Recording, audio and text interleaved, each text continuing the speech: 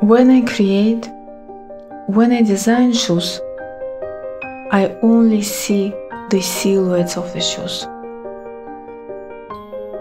I only see the shape.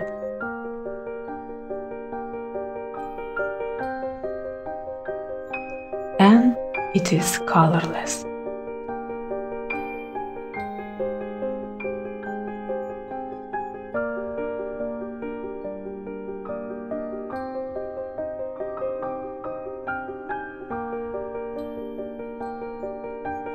My vision is of the pure, clean structure only.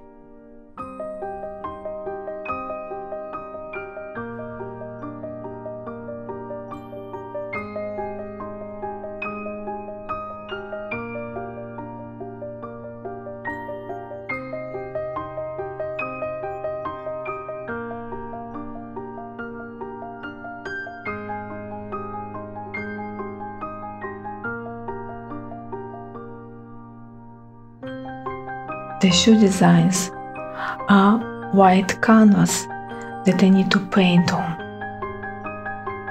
There are so many beautiful colors and textures that I can choose from.